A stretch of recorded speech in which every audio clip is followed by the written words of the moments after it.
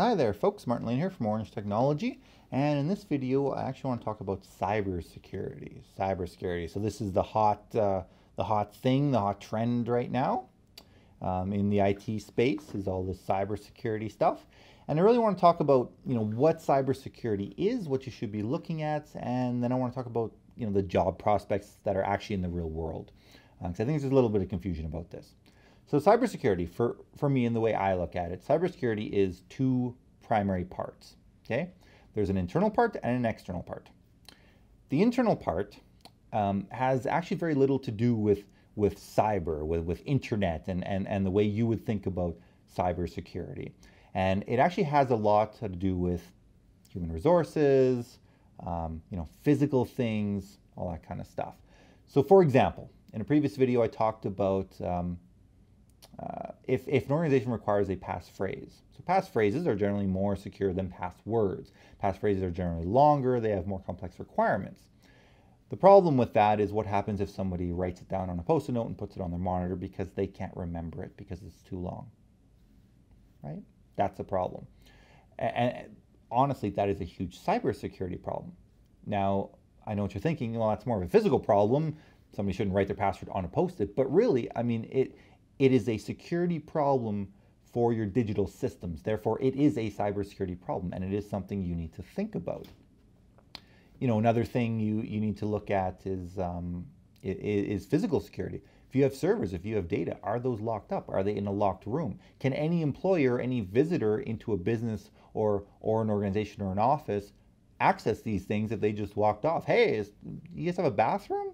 Yeah, it's just down the hall. Okay, and literally on the way to the bathroom, they have to pass the, the server rack or, or, or the table or, or the closet where all of the, the data is stored, right? I mean, that's a huge cybersecurity risk. Again, it's not a risk from the cyber world, but it is, it, it, it, is, it is a risk to your cyber data, right? And that's something you need to think about.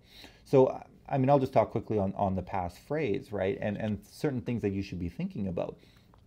Um, you know, a lot, a lot of organizations are going to these passphrases. They're, they're more secure than passwords is the theory and the thought. The problem with passphrases is generally they're, they're quite long, right? Like, uh, my dog is Lucy uh, who barks, right?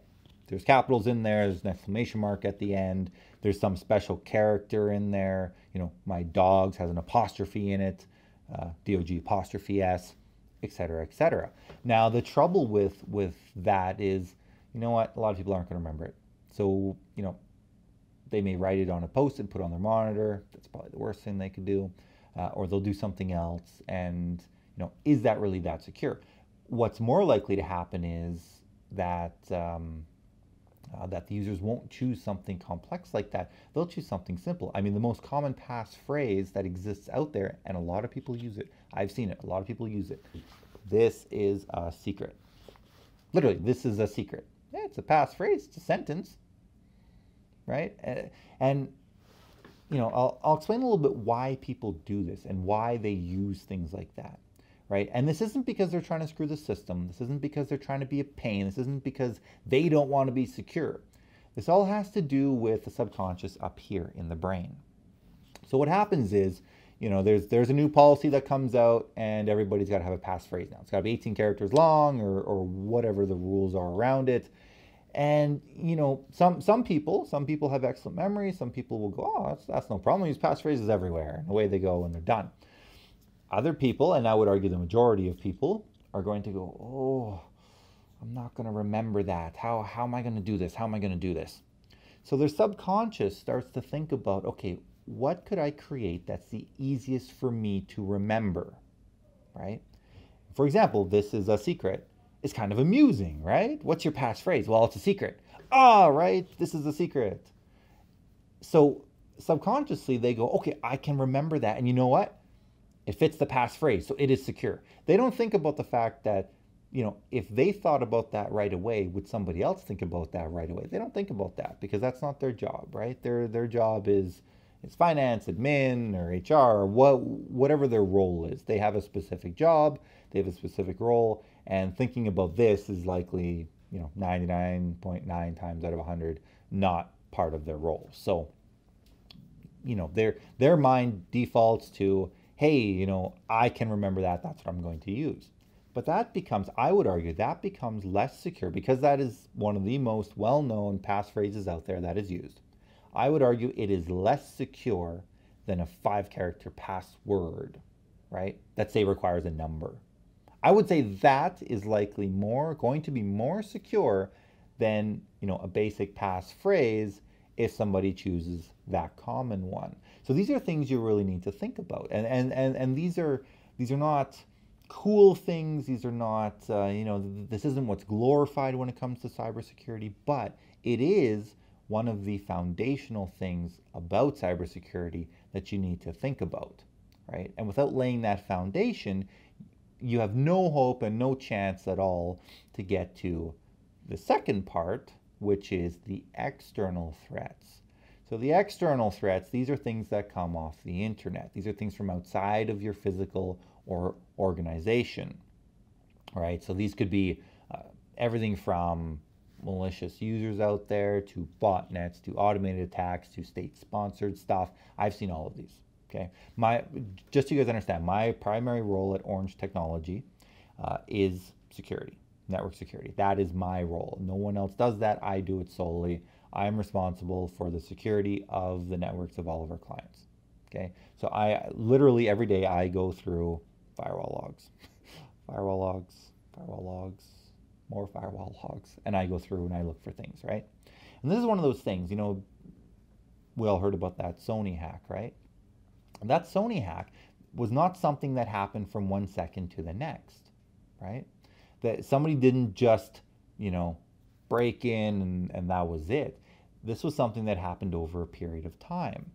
And what I've found in the cybersecurity industry, um, in, in, in this niche within the IT or, or within, within uh, the uh, technology industry, is that a lot of people get complacent, right? They buy their firewall, I've got my firewall, uh, I've got an intrusion prevention system, I'm good. They're automated, I'm good, that's it. And, and I, I would say absolutely not um, cybersecurity requires a human element. You have to be active and you have to be involved in your cybersecurity um, initiatives, protection, any of that kind of stuff. Particularly, and, and I'll explain this how I do this with, with most of most of uh, the client networks that Orange Technology has. Um, when I go through these firewall logs, uh, I mean, I see all kinds of, um, you know, what, what you would consider network intrusion attempts, right? So I see, for example, an IP address from, I'll, I'll use an example from this morning. I see an IP address from China um, trying to connect to uh, the Telnet port, that's port 23, on a network that doesn't have any, any kind of Telnet services, right? So the firewall blocks it, logs it, and I see it. Now I see these day in, day out, all the time, any given hour, I'll see dozens of these attempts, right? Telnet, FTP, uh, what whatever um, port 5900 VNC all, all these things right and the way I would explain this um, is if you would to use an analogy if you have a car parked in a parking lot and you've got a thief who's going around trying to steal stuff out of cars or steal cars and they go to every single car in that parking lot and they try the door handle right most door handles are locked if your door handle is locked your car's in this parking lot your car is locked, they try the door handle, it's locked, they move on to the next car. At some point, they're going to find a car that is unlocked. Somebody forgot or somebody doesn't lock the car, and, you know, where they go stealing stuff. I'm not too worried about those, right? I mean, those are kind of one offs. These are likely automated systems just scanning the internet. They're scanning every IP address, every known IP address, and they're just looking for every network that has port 23 open. Likely what happens is they'll compile a list of every network that has port 23 open, and then that will be actioned upon later somehow, you know, either by a person or another automated system or whatever, right? I'm not worried about that. What I look for is patterns, right? So if I see an IP address, an offending IP address, they tried port 23, didn't work. Okay. Two minutes later, they tried port 21. That's FTP, didn't work. Okay. Two minutes later, they try port 5900. That's VNC. So if you don't know what VNC is, um, Google. It's a, it's a, a, remote access tool, essentially for remote viewing of, of a desktop and controlling it. Um, popular to use inside of networks, uh, not so popular to use re remotely anymore these days. But you know, I mean, again, it's, it's had a standard port for for many many years. So they try port 5900. Oh, all right. Then a few minutes goes by and they try port 3389, which is um, the, the RDP port. for remote uh, desktop protocol from from Microsoft from their built-in um, client. You know, and then they try other ports. That's what I'm looking for. I'm looking for patterns because now, again, if we use the analogy of a car in a parking lot, this is now a thief that has gone up to your car, tried your driver's side door. Oh, it's locked. Hmm. Okay, go around the other side of the car. I'll try the passenger door. Oh, it's locked. Okay. Um, let's try the trunk. Oh, it's locked. Oh, they, they've got a sunroof. Is it closed or is it is it open? Let's go have a look, right? I'm more worried about those guys, and, and I will deal with those guys, right? I will deal with the, with those malicious offenders. I'll block them from being able to access any service, legitimate or not, on on, on the network, and, and so forth. There's a few things that that we do to to basically shut those people out, right?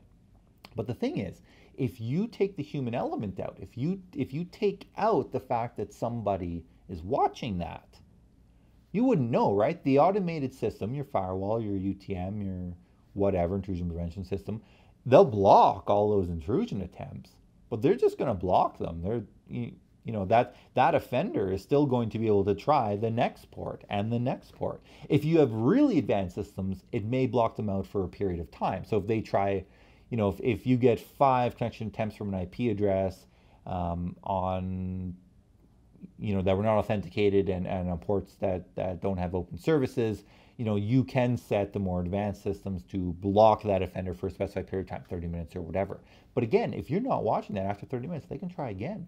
These people, these these offending um, automated networks, botnets, people, state-sponsored groups, whatever, they can try this for years. If you're not watching it and you don't know, they can try for years to penetrate your network. I mean, think about how often your public IP address changes right? I've had the same public IP address dynamically assigned. I'm not paying for static IP, right? I get a dynamically assigned IP address, and I've had the same one for four years. Four years, right? I mean, a, a, a, lot of you people in, in more metropolitan areas, if you have business internet services for your clients, most business internet services do come with static IPs automatically. So they're just assigned a static IP and that's it. They, they have it, and that's theirs. And, and I mean, think about how often do you change that static IP? Really, you don't want your IP address to change because I mean, you have VPN clients set up for for remote workers, for people who leave the office. You've got you know services set up. Maybe you have VPN bridges to remote offices. So you've got branch offices that are that are connecting back. You don't want your IP address to change, but if it doesn't and remains constant, then somebody can sit there you know, again, in theory, for years and, and, and try to compromise the system. And if there's only an automated system on the other end, you know, that let's say locks them out for 30 minutes at a time, you know, after five wrong attempts, all that does is it increases the amount of time they need to compromise the system. And eh, be very clear, be very clear. There is no system that exists on this planet that cannot be compromised. They can all be compromised, every single one of them. That's just a fact. Anybody that anybody that tells you they've got the next firewall or intrusion prevention system or whatever that cannot be hacked is lying to you, selling you snake oil, and they're just not being truth, uh, truthful. They're just not. They're just lying to you to sell you something. There is no system on the planet that cannot be circumvented somehow. So, given that in mind, again, there's a lot of, I mean, automation when it comes to security has come a long way. I will say that. From, you know, several years ago, there have been a lot of advances and they've been great. Don't, don't get me wrong. I'm not saying automation is, is junk or anything, but there has to be a human element still. You need to be looking at those things. So again, like my understanding, and, and, and I could be mixing up all these hacks because there's been so many high profile ones, is the, the Sony one specifically, um, the, the the core network that was breached was actually under attack for a long time. It's just that nobody noticed because nobody looked at those those log files and, and nobody realized that somebody was actively trying to gain access and it was just taking a long time, right? So when the breach occurred, of course, you know, oh, they got hacked, they got hacked. But what nobody really wants to talk about is the fact that the attack had been happening for a long period of time, a very long period of time, right? I mean, I, have seen this with networks that we have taken over. Um, I will say, um, again, I, I, I, don't want to promote any security practices or anything like that. I, I want to give everybody an overview um, on what you should be thinking about so you can make those choices for yourself. But one thing I, I will say, absolutely, um, we we here at Orange we do not leave RDP open to the web ever. We never leave RDP open to the web, and the reason for that is because if you do that, you are leaving a username and password field open to the entire internet to try. Right? If there's some reason that RDP should be open for some kind of purpose, we will do it, but we will restrict it to certain public IP addresses that should be able to access it. Right? If somebody needs access to their network because they travel a lot and they could be in airports or they could be in different hotels, I would set up a VPN service. Right? I mean, really, the, the minimum anybody should be doing at this point is an SSL VPN service. You should be adding in, in this day and age, the two-factor authentication. I understand for some people that's not in the budget or whatever, but VPN service, you know, SSL, SSL VPN or an IPsec VPN should be the minimum that you're doing. It should be the absolute minimum that you're doing.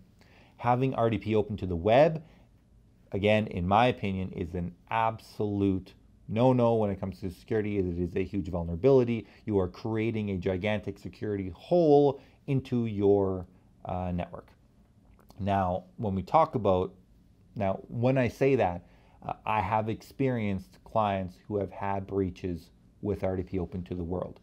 Uh, not because we opened it, but we actually gained clients because they were hacked, because they lost all their data, because the previous service provider they were using left RDP open to the world and left that vulnerability there. And you know, they're they again they weren't watching log files.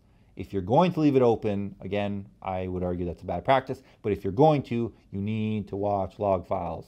Um, you know, whether that's a, a, a, firewall log file that's allowing traffic through that port, um, or you're watching um, audits, security audit logs. If uh, if you've seen the security audit log field on a modern Windows server, it gets really full really quick, and that's not going to be so easy to, to look through. But you know, you need to be watching that stuff if you're going to do it. I, would argue don't do it.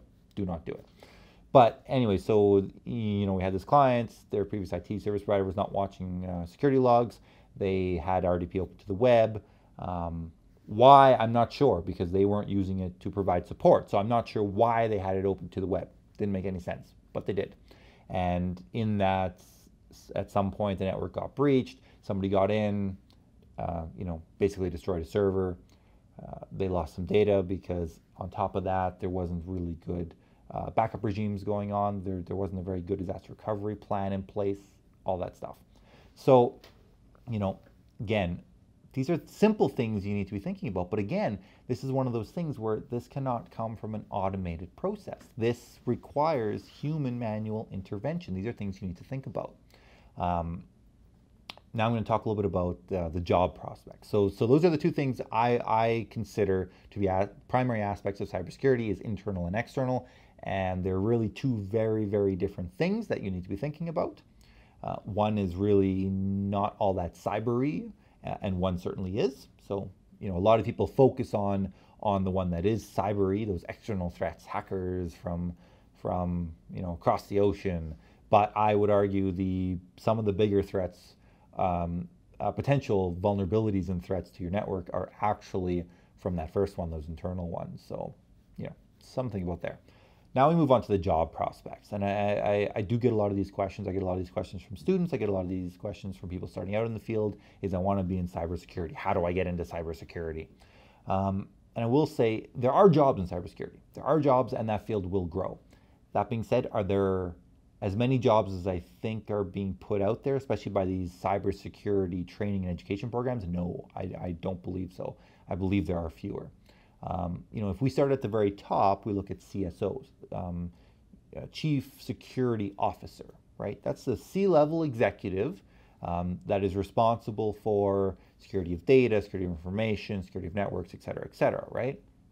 Um, so, you know, you want to be a CSO. Well, a CSO certainly has to have um, a knowledge on computer systems, security systems, that kind of thing. They absolutely have to have knowledge in that. They have to have experience in that, et cetera, et cetera but they also have to understand business, right? One of the things you have to think about is when you're looking at a system, if you're looking at a system and it's going to cost you, know, say, a million dollars, hypothetically, it's a million dollars for this intrusion prevention system, okay? And you look at this and you go, okay, you know, this is a good system. I, I have no question that that system is good or not. Should we buy it? One of the factors you have to consider is what is your exposure if your system is compromised, right? So you already have a firewall, you already have a couple things in place, right? So you have to figure out, um, and part of this is, is an estimate, is you know what is what is my potential vulnerability as it is, right? What what vulnerabilities will this intrusion prevention system that I'm thinking of buying for a million dollars solve, right? So there's a percentage. Like it's not to solve all, all of your problems. It'll solve a certain specific amount of those problems, right? Or it'll address a certain a certain amount of those vulnerabilities or whatever.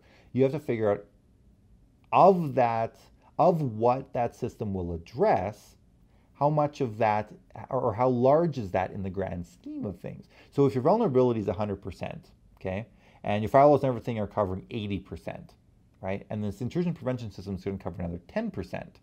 What is that 10% worth in the overall vulnerability of 100%?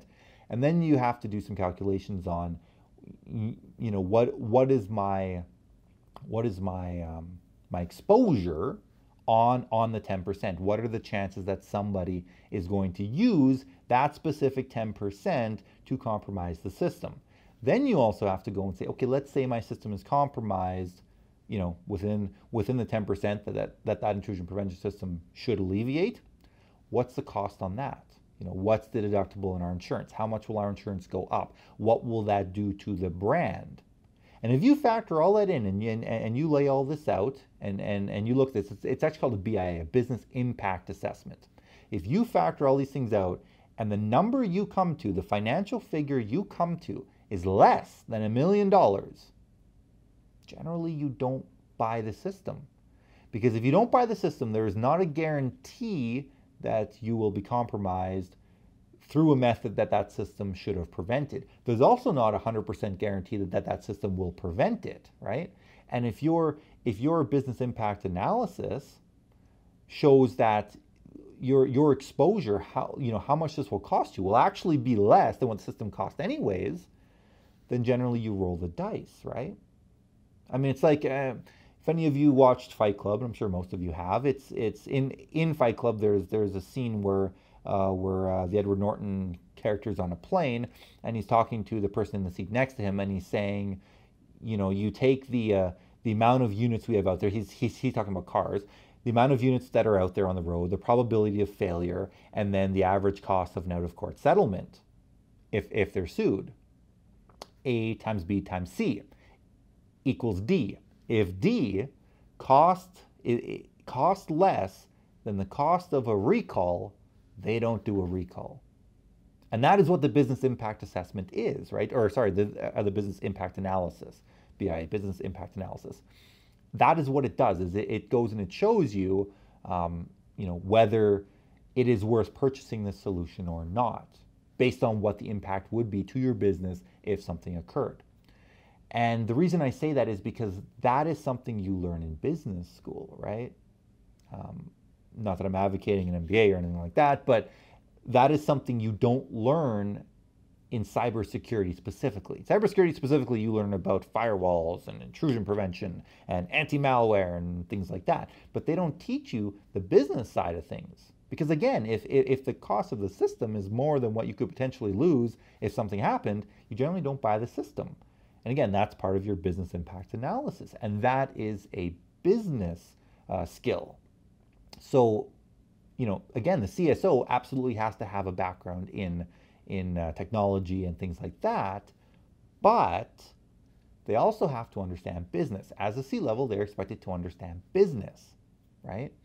Again, if, if, if you're further down the chain, if, if you are a manager, if you are an IT manager and you're responsible for security, likely you have staff that deal with all that, you know, sorry, not entry level stuff, um, uh, baseline stuff, the, the firewall rules and things like that. But again, if you're a manager, you have to have HR skills, right? You have to understand the business as well. You have to have some business skills because you need to understand, you know, is this risk in in what we're going to open up on the firewall? Is that worth it based on the business and what we need to do that for, or is that an unnecessary risk? Is it an unnecessary risk or is it a necessary risk because our business depends on this? If we don't have this going, the business will close down. And quite frankly, there's nothing to worry about cybersecurity wise, anyways, because there is no business running anymore. So that's, that's, you know, again, and that trickles down, you know, even if you're an entry level employee, it trickles down to that. It's it's not just about the cybersecurity portion. It's not just about the packets and the hackers and all that. Um, so that, that's what I would argue the, the real jobs are in the cybersecurity world. It's not just about cybersecurity, it's about that overall understanding. Uh, another huge aspect, quite frankly, to cybersecurity is regulatory. What's your regulatory environment look like? Um, for example, here in Canada, we have very, very strict uh, privacy regulations where it makes it difficult to use um, some cloud services that are in the US because then your data is now housed in the US and is subject to different laws than we have in Canada.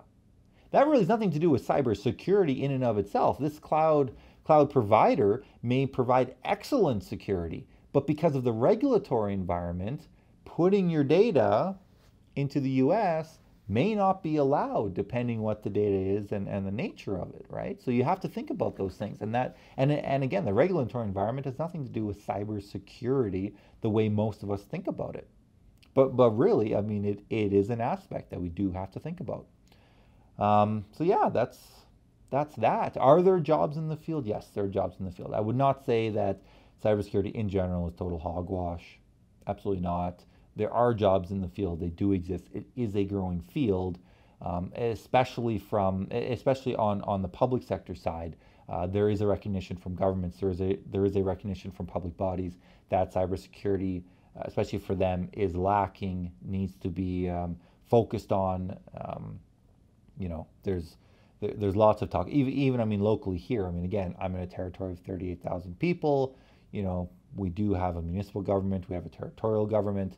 Uh, you know, even with us with our small uh, small population relative to you know larger metropolitan centers, we're thinking about it. We're looking at it, going, okay, we really need to think about you know security. When you think about the regulatory environment. when you think about you know um, uh, something called uh, compartmentalization. So if I have this much data that's sensitive and I have 30 people working on it, do all 30 of those people need to see the entirety of the data? Or do each of those people only need to see a small portion? You know, we see this in, in, in the medical field, and, and I've talked about this in other, in my, uh, uh, my regulatory video, um, uh, where I talked about um, the regulatory environment and thinking about that, is you, you have a doctor who puts notes onto a patient file, in, in some kind of electronic fashion, an EMR, an electronic medical record, it's called.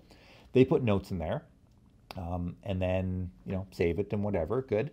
Uh, then does the medical office assistant, the MOA, who does all the scheduling and orders tests and things, do they need to see those notes? Do they need to see the notes of the appointment, or, or, or do they just need to see, yes, this is a patient, yes, this is their doctor, okay, you know, I'm going to print this form and it goes to uh, this particular physician, right?